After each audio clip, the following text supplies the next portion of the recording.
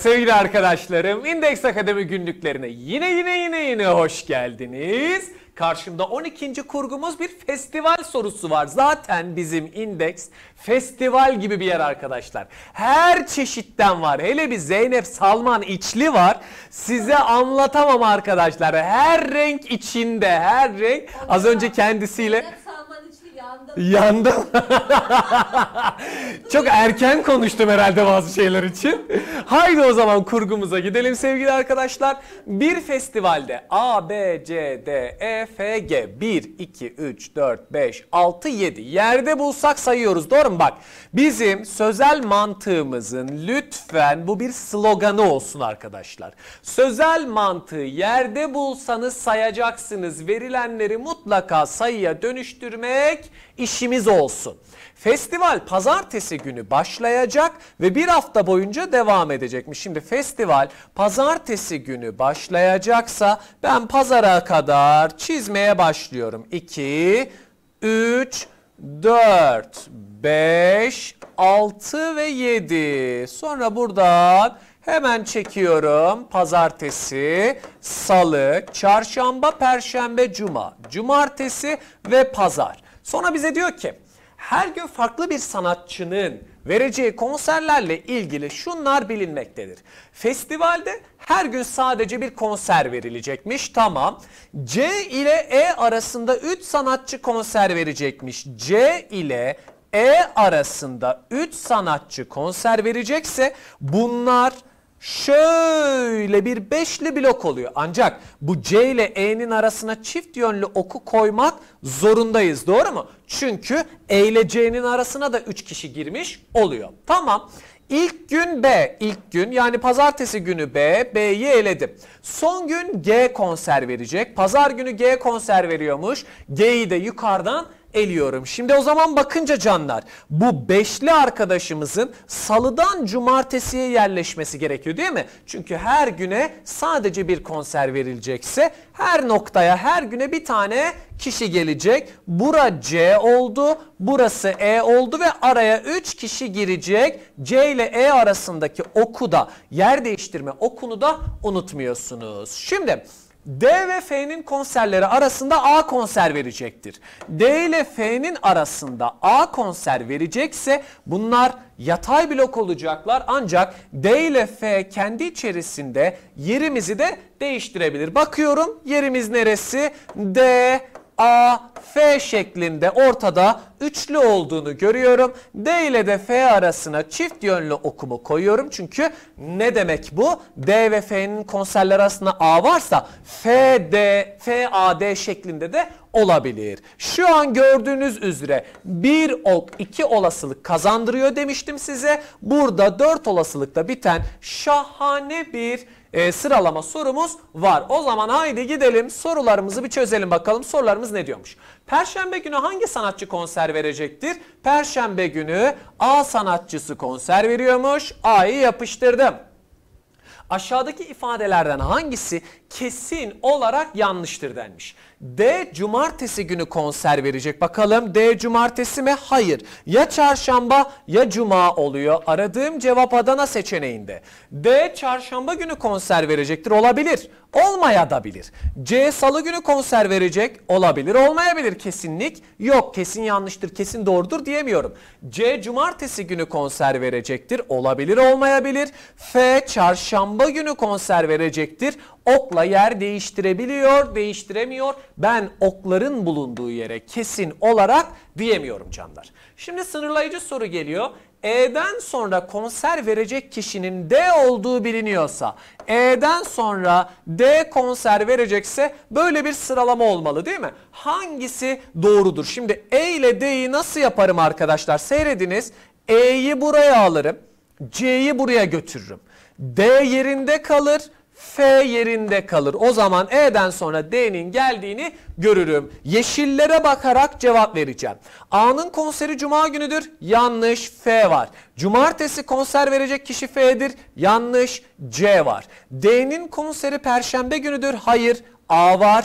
F konserini cuma günü verecektir. Evet yeşile baktığımız zaman F konserini cuma günü verecektir şeklinde görebiliyorum. Şimdi E ve A arasında konser verecek olan kesin kaç kişi vardır demiş. E ile A arasında kesin kaç kişi var? Bir kişi var değil mi arkadaşlar? Bakın hocam okla yer değiştirdiğinde oraya D de geliyor demeyin. O kesinlik bildirmez. Bana kesin kaç kişi vardır? Kesinlikle şu an bir kişi olduğunu görüyorum. Eğer oku bu tarafa götürdüğünüzde yani E'yi buraya aldığınızda bile E ile arasında bir kişi olduğunu görebiliyorsunuz. Olabilir diye sorsaydı eğer iki kişi olduğunu söyleyebilirdik. Ama bize kesinlik üzerinden konuştuğu için bir tane diyoruz. Şöyle bir resim alalım mı yönetmenim? Şöyle şakır şakır güzel bir resim alalım. Verdik mi coşkuyu? O zaman çok iyi. Şimdi gidiyorum artık 12. kurgudan sonra bir kurgu stilini değiştiriyorum. Şimdi arkadaşlar artık sayısal eşitleme kurgularına geçiyoruz. Sevgili arkadaşlarım, sayısal eşitleme kurgum o kadar güzel bir kurgu çeşidi ki çok eğlencelidir, hiç üzmez, rahatça çözülür, çok da zevkli kurgulardır. Peki hocam ben bu kurguları nasıl çözeceğim diye düşünebiliriz. Nasıl çözeceğiz biliyor musunuz arkadaşlar? Bir yerde sıralama yoksa yani pazartesiden salıya, çarşambaya, perşembeye bir gidişat yoksa, 1, 2, 3, 4 diye bir gidişat yoksa ne yapacağım benim canım arkadaşlarım? Şöyle hemen bir bakayım şöyle bir küçülteyim yönetmenim. Şöyle yapsam güzel duruyor mu? Bir tık şöyle şöyle bütün sayfamı şöyle göstersem nasıl olur? Havalı duruyor mu şöyle yönetmenim? Evet, evet. Yönetmenim havalı duruyor değil mi? O zaman hadi gidelim bakalım sorumuzu çözeceğiz. Şimdi sevgili arkadaşlar sayısal eşitleme dediğimiz şey bir tablo çizme sorusu yine. Ama bildiğiniz kutu çizeceğiz tamam mı? Yine tablo çizeceğiz o her zaman var sözel mantıkta. İçlerine kutu çizeceğiz. Burada biraz resim sanatını göstereceğiz kendimiz. Ama nasıl göstereceğiz? Şimdi bakalım. Birinci kurgumuza bakalım ödev sorusu nasılmış? Seval Almanca ve İngilizce derslerine ait 1, 2, 3, 4, 5, 6, 7, 8. Toplamda 8 ödev olduğunu söylüyor mu bize? Toplamda 8 ödev olduğunu söylüyor. Tabii ki. Büyütelim mi? Şöyle mi yapalım yönetmen? Ama bence de ben de ben de aynı fikirdeyim ama. Ele tıklayıp büyüteyim istiyorsunuz ama şöyle bir tık daha şöyle olsa benim işime hepsini göstereceğim ya yönetmenim. Şöyle bütün şıkları bir arada görmelerini istiyorum o yüzden. Tamam mıyız? Yok sıkıntı yok. O bir problem değil. A, E, G görünüyor. Güzel duruyor değil mi? Tamam. Tamam güzel duruyorsa problem yok. Şimdi canlar burada şöyle bir tablo çizeceğiz. Şimdi sıralama yok ya. Sayısal eşitleme kurguları arkadaşlar kutu çizmeye yaradığı için hemen şöyle bir sayısal eşitleme tablosu çiziyorum. Şurası arkadaşlar Almanca oldu. Burası İngilizce oldu ve soldan sağa tükenmez kalem, kurşun kalem yazacağım. Hop şuradan hemen bölüyorum. İkiye böldüm. Şurası tükenmez kalemim oldu. Burası da kurşun kalemim oldu. Şimdi sayısal eşitleme tablolarında yani içeriye birazdan kutu çizmeyi göstereceğim size. Almanca İngilizceyi sola, tükenmez kalem kurşun kalemi yukarı yazabilirsiniz. Parametrelerin yeri istediği gibi değişebilir bu soruda tamam mı? Şimdi hocam ben size diyordum ki içeriye kimleri atacağız? Harfleri atacağız. Şıklarda kim çok tekrarlanıyorsa onlar tablonun içerisine gelecek. Şu an karşımda bir sayısal eşitleme tablosu görüyorum. Hocam peki ben bunun sayısal eşitleme sorusu olduğunu nereden algılayacağım? İçinde zaten size eşit sayıdadır diyecek tamam mı? Ya eşit sayıdadır der ya herkes bir ürün almıştır der birinci maddede ya da bir yerde sıralama görmüyorsanız o kuvvetle muhtemel bir sayısal eşitleme sorusudur arkadaşlar. Şimdi Almanca ve İngilizce derslerine ait ödevler eşit sayıdaysa o zaman Almancanın 4, İngilizcenin 4 olduğunu biliyorum. Bakınız eşitliği yukarıdan aşağı sağlayacağım. Çünkü toplamda 8 ödevimiz duruyordu. B ile H ödevleri aynı derse ait olup kurşun kalemle hazırlanmıştır. Şimdi dikkat dikkat bakınız. B ile H ödevleri aynı dersinmiş. Bunlar kurşun kalemle hazırlanacakmış. Tamam. F ödevi İngilizce dersi için tükenmez kalemle hazırlanmış. Bakınız F ödevi İngilizce dersi için tükenmez kalemle hazırlandıysa buraya bir tane F yazıyorum. F ödevini yukarıdan eliyorum. Aynı dersin E ödevi tükenmez kalem dikkat. Aynı dersin E ödevi tükenmez kalem. D ödevi kurşun kalem aynı ders diyor. O zaman bunların altlı üstlü olması gerekiyor doğru mu? Ve aralarına ok koymayacak. Kendisi sınırladı zaten dedi ki E ödevi tükenmez kalem olacak. D ödevi ka- e, kurşun kalem olacak dedi. Şimdi o zaman aynı dersse bu İngilizce olabilir, Almanca olabilir. Şu an bilemiyorum. Bakalım. A ile C ödevleri İngilizce dersine aittir. Neresinde olduğunu bilmediğim için ne yapıyorum şu an? A ile C ödevlerine dışarıya bir kutu açıyorum birazdan içeri götüreceğim. Şimdi benim yurdumun efsanevi karakterleri, efsanevi memurları, öğretmenleri seyredin. İngilizce'de dört tane ödev vardı doğru mu? Bir, iki, üç, şimdi geliyor. Ben bu ED'yi eğer buraya koyarsam toplamda kaç oluyor? 1, 2, 3, 4, 5 oluyor sayı bozuluyor gördünüz değil mi? Eşitleme, kutu eşitlemesine dayandığı için bu sorular ne yaptım? Eşitlemeyi bozdum. Olmadı. O zaman bu ED'nin buraya gelme ihtimali yoktur. ED'nin geldiği yer neresidir sevgili arkadaşlarım?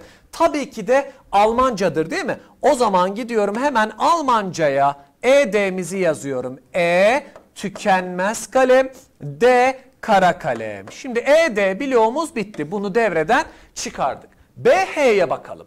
BH'yi acaba ben şuraya koyabilir miyim? Sevgili arkadaşlar, BH'yi ben buraya koyduğum zaman tekrar sayıyorum.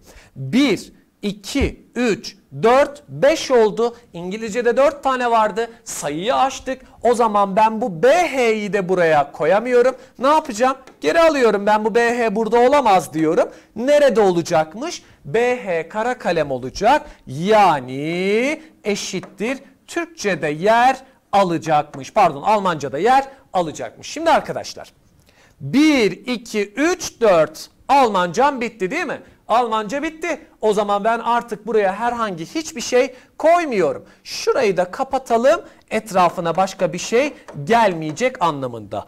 4 tanesi bulundu. Şimdi burada 4 tane daha koymak zorundayım. Bir tanesini yerleştirdim. 3 tane ekleyeceğim. Arkadaşlar A, C bakınız. A'yı bilmiyorum dışarıda. B'yi yerleştirmiştim. C dışarıda. D'yi yerleştirmiştim. E'yi yerleştirmiştim. H'yi. A, C, G. Demek ki G'lerden bir tanesi de burada. Doğru mu? G e, dersimiz, ödevimiz daha doğrusu buradaymış. Şimdi çok önemli bir yer geliyor.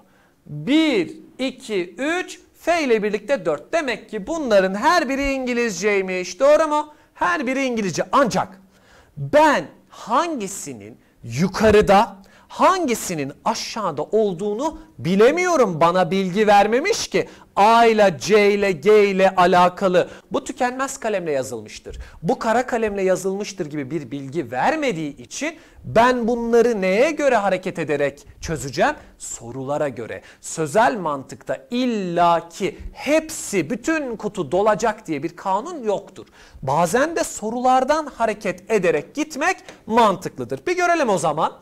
Yukarıdakilerden hangileri İngilizce dersi için tükenmez kalemle hazırlanmış ödevlerden biri olabilir. Bakınız İngilizce dersi için tükenmez kalem. A'ya bakıyorum. A olabilir. A'yı yukarı verebilirim. E olamaz. O Almanca dersi için geçerli. G olabilir. G'yi yukarı alabilirim. O zaman 1-3 aradığım cevap oluyor. Şimdi Aşağıdaki ifadelerden hangisi kesin olarak doğrudur denmiş? A ile G aynı derse ait bakalım. A ile G aynı ders İngilizce. Farklı kalemle hazırlanmış ödevlerdir. Farklı olduğunu bilemem ki belki de aynı yere denk gelecek. Buna kesin doğrudur diyemiyorum. B ile C farklı derslere bakalım B ile C farklı mı? B Almanca, C İngilizce farklı kalemle hazırlanmış mı? Hayır belki C kurşun kaleme denk geldi. Olmadı. E ile F aynı derse ait aynı kalemle hazırlanmış ödevlerdir. E ile F bir kere aynı ders olamaz ki. E Almanca, F İngilizce. Bu da gitti. B ile F farklı derslere ait mi? Bakalım. B Almanca'nın dersi. F İngilizcenin dersi farklı ders. Farklı kalemle mi hazırlanmış? Evet. F tükenmez kalemle, B kurşun kalemle hazırlanmış. Aradığım cevabın Denizli'de olduğunu görüyorum. G ile H farklı derslere ait aynı kalemle hazırlanmıştır. Bakalım bir kere G için kesin diyemem ki o daha içeri bile giremedi. Bu yüzden Edirne seçeneğinde eliyorum. Eğer içeriye alamadığım kutular varsa onlar kesinliğe dahil değildir arkadaşlar. Şimdi üçüncü sorumuz bir sınırlayıcı soru. Diyor ki tükenmez kalemle hazırlanan toplam 3 ödevden birinin A olduğu biliniyorsa bak şimdi bir tanesi E tükenmez kalemle %100 E hazırlanmış. Bir tanesi F %100 ikinci de geldi. Üçüncünün de A olmasını istiyor. Başka yok. Toplam diyor. Dikkat ettiniz mi?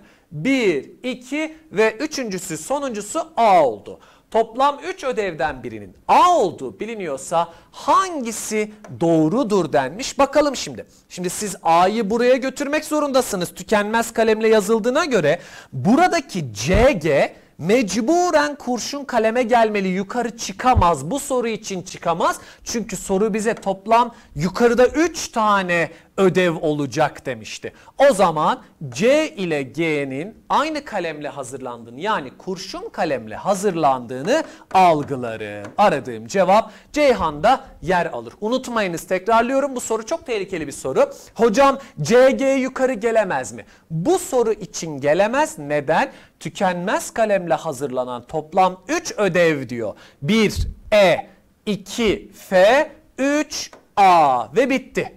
A'yı yukarı verince şuradaki A'yı yukarı verince CG'nin %100 kurşun kalemde kalması lazım.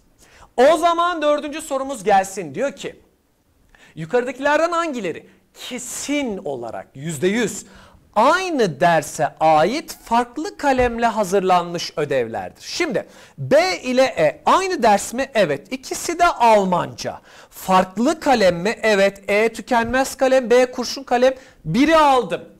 F ile C. Şimdi F ile C aynı ders ama farklı kalemle olup olmadığını bilmiyorum. Belki C F'nin yanına gelecek. İkisi de tükenmez kalemle yapılacak.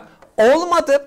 H ile G. H Almanca, G İngilizce. Bana aynı ders diyordu bunlar. Farklı ders. O zaman aradığım yanıtın Adana seçeneğinde olduğunu görüyorum sevgili arkadaşlarım. Yönetmenim görevimiz gelsin mi? Şöyle bir ekran görüntüsü alalım. Şakadanak. Yalnız bir şey söyleyeyim mi? En beğendiğim tablo bu oldu. Gerçekten en beğendiğim bu oldu. Böyle çiz... Ama da beyaz sayfada biraz yer çok olduğu Daha mı büyük durdu ondan? He. Hayır buradan çıkışta yayından çıkışta bir resim atölyesi falan mı açsam ne yapsam bilmiyorum. Lütfen ya bu bu nasıl bir bir şey ben algılayamadım. Bu nasıl bir yetenektir ya? Hadi gidelim ikinci kurgumuzu çözelim bir dizi sorusu. Aha geliyor.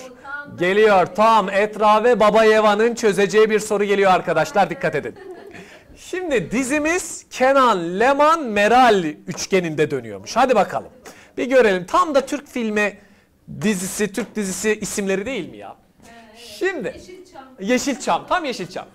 Kenan, Leman ve Meral adlı 3 oyuncu A, B, C, D, E dizilerini oynamışlar. 5 tane dizimiz var. Tamam. Oyuncuların oynadıkları dizilere ilişkin kimi bilgiler şu şekildeymiş. Şimdi her oyuncu en az bir dizide oynamıştır. Tamam. Mutlaka kutular boşta kalmayacak diyor. Boş yok diyor bize. Tamam. B ve D dizilerinde birer hemen bakalım. B ve D dizilerinde birer taneymiş. Efendime söyleyeyim. Diğer dizilerde ikişer oyuncu oynamış. Tamam oynasın.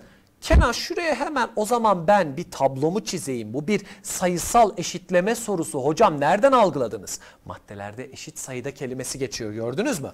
O zaman ben şimdi gidiyorum yukarı A, B, C, D, E yazıyorum. Niye hocam? Çünkü isimler içeri girecek gördünüz mü? En çok insan isimleri şıklarda geçtiği için onları tablonun içine atacağım. Şimdi şurası A. Burası B, burası C, burası D ve E. Şuradan hemen bölüyorum. Gelsin bakalım dizilerimiz. A, B, C, D, E. Şimdi B ve D dizilerinde birer, diğer dizilerde ikişer oyuncu. Burada birse bir tane kutu çiziyorum. Burada birse bir tane kutu çiziyorum. Diğerlerinde ikişer oyuncu oynamış. 2, 2, 2. O zaman burası 1, burası 2. Burası 1, burası 2. 1 ve 2. O zaman sayısal eşitlememiz tamamlandı. Şimdi Kenan E dizisinde hadi bakalım bu arada sevgili arkadaşlarım iyi seyrediniz çok önemli bir yer geliyor. Kenan E dizisinde Kenan'ı şuraya zınk yapıştırdım. Kenan E dizisinde tamam. Efendime söyleyeyim Leman da B dizisinde oynamış. Leman da B dizisinde oynadı tamam. Meral iki dizide oynamıştır. Meral'in iki tane dizisi var. Şimdi toplamda dikkat ediniz. Meral 2 oldu. Yukarıya bir bakar mısınız? Kaç tane kutu oluşturmuştum? 2, 3, 5, 6, 8 tane. Şimdi Meral ikisinde oynadı elimde kaldı 6 doğru mu? 6. Kenan ve Leman eşit sayıda dizide oynadığına göre o zaman Kenan 3 tane, Leman'da 3 tane olacak ki toplamda burası 8 yapsın değil mi? Kutularımı sağlasın. Çünkü her oyuncu en az bir dizide oynayacak. Tamam. Sonra Kenan ile Meral yalnızca C dizisinde beraber oynamış. Bakın yalnızca başka hiçbir yerde K, M yan yana gelmeyecek. O zaman şuraya K'yi buraya M'yi koyuyorum. Bu arada Leman'dan bir tane bir götürmem lazım. Kenan'dan bir tane götürmem lazım. Şimdi şurada Kenan'dan bir tane daha götürdüm. Meral'den bir tane daha götürdüm. Yerleştirdiklerimi aşağıdan eledim. Sonra şimdi bunu da hallettik. Peki soruyorum size.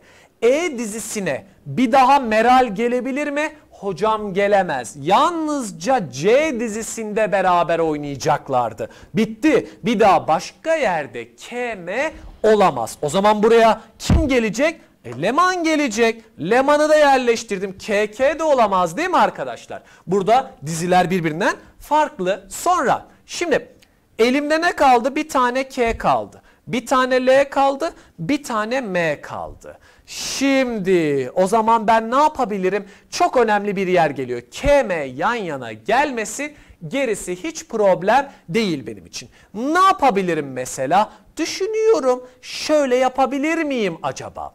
Şuraya LM'yi versem, buraya bir LM versem, şuraya K versem, bu M ile de K arasına çift yönlü bir ok koysam cillop gibi olur mu? Olur. Oo bak şimdi 3 tane K bitti. 2 tane M bitti. KM hiçbir zaman C dizisi dışında yan yana gelmiyor değil mi? Bakınız o zaman ben 3 tane L'mi de tamamladım. 3 tane K'mi de 2 tane de M'mi de tamamladım. Size cayır cayır bir sayısal eşitleme sorusu oluşturdum. Haydi o zaman gidelim rengarengarenk kalemlerimizi alıp soruya devam edelim. Buna göre adlı oyunculardan hangileri D dizisinde oynamış olabilir? D dizisinde Kenan oynayabilir. Kenan ya da Ok'la Meral yer değiştirebilir. Hocam Kenan? Kenan- Kenan İsim vermeyeyim şimdi durduk yere. Gölge düşürmeyelim şimdi. Kenan ve Meral 1-3 D dizisinde oynayabiliyorlar. Aşağıdakilerden hangisi kesin olarak yanlıştır demiş. Kenan ve Leman yalnızca iki dizide beraber oynamıştır. Kenan ve Leman iki dizide oynayabiliyor. Bak KL şuraya geçince A dizisinde ve E dizisinde oynuyor. Bu değil. Kesin olarak yanlıştır diyemiyorum. Leman ve Meral yalnızca iki dizide beraber oynamış. Şimdi bir dakika. Leman Meral 1, Başka hiçbir yerde Leman Meral göremiyorum. Bu kesin yanlıştır. İki dizide değil ancak ve ancak bir dizide oynuyorlar. Kenan ve Leman A dizisinde oynamıştır. Oynayabilirler. Bakınız Kenan buraya gidince oluyor. Kenan ve Leman E dizisinde oynuyorlar. Bu kesin doğru. Leman ve Meral A dizisinde oynamıştır. Olabiliyor. Ben kesin yanlıştır diyemiyorum. Ve sıradaki aşağıdakilerden hangisi kesin olarak doğrudur demiş. Kenan D dizisinde oynamış oluyor. A dizisinde oynamamış olmadı. A dizisinde de oynayabiliyor. Bu olmadı. Kesin doğrudur diyemem. Kenan A dizisinde oynamış olabilir bakınız. D dizisinde oynamamıştır. Hayır. Çift yönlü ok var. Bu da gitti. Leman A dizisinde oynamış bakınız. Bu doğru kesin doğru. D dizisinde oynamamıştır. Evet Leman hiçbir zaman D'ye gitmiyor gördünüz değil mi? A'da oynadı ama D'de oynamadı. Aradığım cevabın Ceyhan seçeneğinde olduğunu görüyorum. Leman D dizisinde oynamış, A dizisinde oynamamıştır. Bu kesin yanlış zaten. Doğrudur soruyor bana. Meral A dizisinde oynamış, D'de oynamamıştır. Hayır, oynayabilir. Dikkat ettiyseniz yanlış olabilir. A ve E dizilerinde aynı oyuncuların dikkat dikkat yurdumun efsanevi karakterleri sınırlayıcı soru geliyor. A ve E dizilerinde aynı oyuncuların oynadığı biliniyorsa şimdi bakıyorum şuraya E dizisinde K ve L oynuyor. Kenan ve Leman oynuyor. O zaman burada da kim oynayacak? Kenan ve Leman oynayacak. Leman yerinde duruyor. Kenan buraya gelecek. Ondan sonra Meral de D'ye gidecek. Hangisi doğrudur diyor? Meral D dizisinde oynamıştır. Doğrudur değil mi? Çünkü burası KL olunca bu M alacak D'ye gidecek. Hangisi doğrudur demiş. Leman C dizisinde yok dikkat ettiyseniz. Kenan B dizisinde yok. Leman ve Meral, Meral'in beraber oynadığı yalnızca bir dizi vardır. Şurada zaten Leman ve Meral yan yana gelmiyor. Burası KL. Kenan ve Leman'ın beraber oynadığı yalnızca bir dizi vardır. Hayır iki dizi var dikkat ettiyseniz. O zaman aradığım cevabın da Adana seçeneğinde olduğunu görüyorum. Dinlediğiniz, bize kattığınız tüm güzellikler için teşekkür ediyorum.